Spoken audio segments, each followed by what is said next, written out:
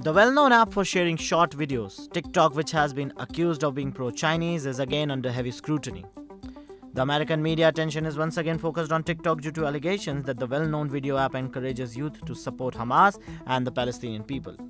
Retaliating the calls for a ban on TikTok, prominent politicians such as Senators Josh Hawley, Marco Rubio, and House Representatives Mark Gallagher have pointed to the app's perpetrated bias in support of anti Israel and anti Jewish content in recent weeks. Due to the criticism over the prevalence of pro Palestinian content, TikTok's influence has returned to the public eye since the start of Israel Hamas conflict.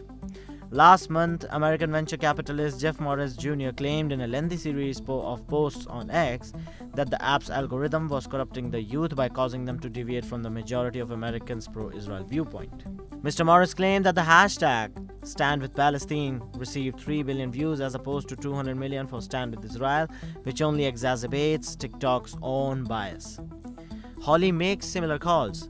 He cited a recent Harvard CAPS Harris poll, which found that, in contrast to older Americans who overwhelmingly support Israel, 51% of Americans between the age 18 and 24 believe that Palestinian grievances could justify Hamas's October 7 attacks on Israel.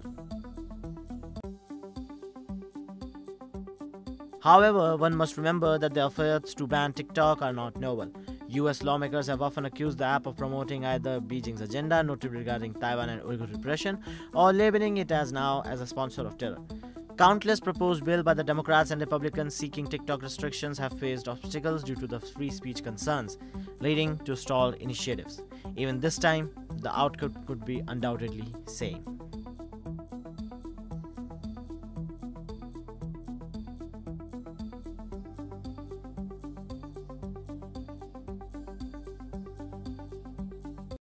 Subscribe to One India channel and never miss an update.